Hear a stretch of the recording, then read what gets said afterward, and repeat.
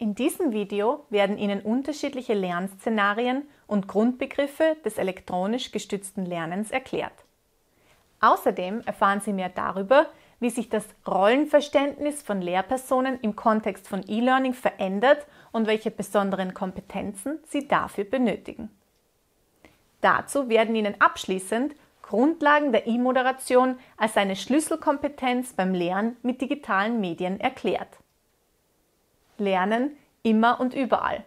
Wer kennt diesen Slogan nicht? Mit Hilfe von digitalen Medien und entsprechenden mobilen Geräten ist Lernen heute jederzeit und theoretisch auch an jedem Ort möglich. Lernen findet natürlich mit und ohne technische Hilfsmittel nach wie vor im Klassenzimmer und im Hörsaal statt. Bei Blended Learning und Online-Lehre aber auch bzw. ausschließlich im Netz. Ob auf dem Weg in die Schule oder Arbeit mit dem Smartphone im Zug, in der Mittagspause am Tablet im Park oder abends zu Hause mit dem Laptop auf der Couch. Das schafft für die Lernenden bekannte Vorteile im Bereich Mobilität, Flexibilität und Selbststeuerung. Aber auch Lehren kann heute überall erfolgen. Als Lehrperson kann ich mir Technologien so zunutze machen, dass sie meinen Bedürfnissen und Lebensumständen entgegenkommen und den Unterrichtsalltag erleichtern. Gleichzeitig statte ich so meine Lernenden mit essentiellen digitalen Kompetenzen aus. Worin besteht nun aber der Unterschied zwischen Präsenzlehre, Blended Learning und reiner Online-Lehre? Welche Kernkompetenzen benötigt man als Lehrperson für diese Settings? Und was hat eigentlich Barbecue mit all dem zu tun? Also das mit dem Barbecue ist recht einfach erklärt. In ihrem Lehrbuch für Lehren und Lernen mit Technologien erfanden Martin Ebner, Sandra Schön und Walter Nagler mit ein bisschen Augenzwinkern die Barbecue-Typologie. Damit veranschaulichen sie die unterschiedlichen Formen von Unterricht im Bildungsalltag mit einer Bildmetapher. Stellen Sie sich einmal eine Grillwurst am Spieß vor. Ob aus Fleisch oder Tofu ist hier jetzt nebensächlich. Präsenzunterricht ohne Einsatz von Technologien sieht aus wie eine einzelne Grillwurst am Spieß. Die gleiche Grillwurst, aber mit ein bisschen Senf und Ketchup obendrauf, steht hier für den Technologieeinsatz im Präsenzunterricht. Das kann jede Art von Technologie sein, vom Overhead-Projektor bis hin zum digitalen Whiteboard oder den Handys der Lernenden. Wenn Sie Ihren Präsenzunterricht mit dem Einsatz von Lernplattformen kombinieren, Ihr Klassenzimmer oder Ihren Hörsaal also um eine virtuelle Komponente erweitern und somit mit einem virtuellen Lernraum umrahmen, so können Sie sich das vorstellen wie das Hotdogbrötchen, das um die Grillwurst gehüllt wird. Alternieren die Phasen der Präsenzlehre nun tatsächlich mit Phasen von Online-Lernen und Lernen, dann könnte man das mit einem Grillspieß visualisieren, auf dem sich die in Scheiben geschnittene Grillwurst mit Gemüse abwechselt. Diese Form von Lernen wird oft auch als Blended Learning verstanden, da hier zwei Lernsituationen miteinander vermischt werden. Wer noch ein Bild braucht, kann sich das als Mixer vorstellen, auf Englisch Blender genannt. Aber nun zurück zu unserer Barbecue-Typologie. Die reine Online-Lehre ist in dieser Bildmetapher mit einem bunten Gemüsespieß, ganz ohne Wurst, dargestellt. Hier geht es um Lernkonzepte ohne jegliche Präsenz, aber mit unterschiedlichen Phasen und Werkzeugen. Ein Beispiel wäre hier, wenn Sie auf iMux.at einen MOOC absolvieren, ohne dass es dazu eine begleitende Präsenzlehrveranstaltung gibt. Geschmäcker sind nun bekanntlich verschieden. Das trifft selbstverständlich nicht nur für das Grillen, sondern auch für das Lernen und Lernen zu. Deshalb ist auch keine eine Form des Einsatzes von Technologien für den Unterricht besser oder schlechter als eine andere. Die Entscheidung, was bevorzugt wird, hängt daher immer von den Lernenden wie auch den Lehrenden ab, sowie natürlich von den vorhandenen Rahmenbedingungen. Eines ist aber klar, Lernen mit digitalen Medien braucht andere, vielfach neue Kompetenzen, mit denen sich für Lehrende auch automatisch ihre Rolle verändert. Neue Lernformen erweitern somit die Rolle der Lehrenden. Was früher lehrenderzentrierter Frontalunterricht war, wird heute oft in Prozessen der Wissenskonstruktion in Lerngruppen gemeinsam erarbeitet. Lernen in virtuellen Räumen, egal ob in Blended oder in reinen Online-Settings, benötigt vor allem eine Schlüsselkompetenz, die E-Moderation, auch Online-Moderation genannt. Darunter versteht man die Begleitung der Lernenden in den virtuellen Phasen des Lernens, also bei der eigenständigen Arbeit mit Computer bzw. mobilen Endgeräten und dem Internet.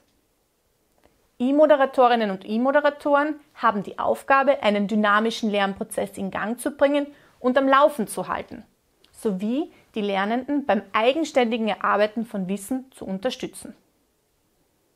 Diese erfolgreiche Begleitung von Online-Aktivitäten ist ein wesentlicher Faktor für den Erfolg oder Misserfolg von Online-Lernangeboten. E-Moderation kann direkt von der Lehrperson oder von eigens dafür vorgesehenen E-Moderatorinnen oder Tutoren durchgeführt werden. In der Praxis werden Sie häufig Lehrperson und E-Moderator in Personalunion sein. Als E-Moderatorin schlüpfen Sie dabei sogar noch in mehrere Rollen.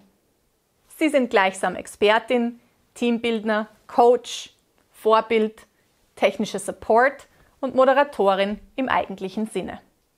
Als Expertin oder Experte benötigen Sie selbstverständlich Fachwissen, das Sie im Lernmanagementsystem didaktisch gut aufbereitet zur Verfügung stellen. Hier ist auch Ihre eigene Medienkompetenz gefragt. Als Teambilderin und Coach unterstützen Sie einerseits Gruppenarbeit und Gruppenbildung. Andererseits begleiten und unterstützen Sie Ihre Lernenden auch individuell, ganz wie die Trainerin im Sport. Sie helfen bei der Entwicklung eigener Potenziale, aber auch bei der Selbstorganisation und Zeitmanagement. Hier schließt auch die Funktion als Vorbild an. So wie Sie sich online verhalten und online kommunizieren, werden es auch Ihre Lernenden tun. Sie agieren somit als Rollenmodell und vermitteln Kommunikations-, Medien-, Methoden und Sozialkompetenz. Und wenn einmal die Technik versagt, sind Sie natürlich auch erste Ansprechpartnerin dafür, wobei Sie diese Fragen gegebenenfalls an ein IT-Support-Team im Hintergrund delegieren werden. Ihrer eigentlichen Rolle als Moderatorin kommen Sie bei all diesen Prozessen natürlich auch nach. Besonders gefragt ist die Moderation bei unterschiedlichen Formen der Online-Kommunikation, entweder asynchron, beispielsweise über Diskussionsforen und Wikis, oder synchron, beispielsweise über Chats oder virtuelle Whiteboards. Hier geht es unter anderem um das Transparentmachen von Rahmenbedingungen für eine Online-Diskussion.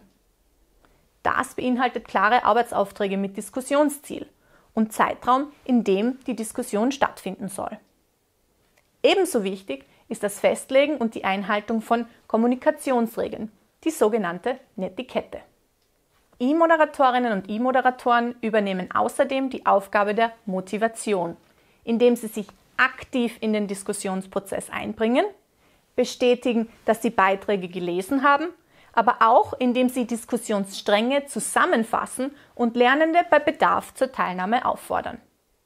E-Moderation ist somit ein Schlüssel zum Erfolg für gelungene Online-Kommunikation. Das lässt sich aber nicht über Nacht lernen und benötigt zusätzliche Zeitressourcen. Auch zu bedenken ist, dass gleichzeitige Wissensvermittlung und E-Moderation enorm schwierig ist und man vor allem in der synchronen Online-Kommunikation grundsätzlich eine zweite Person als Unterstützung benötigt.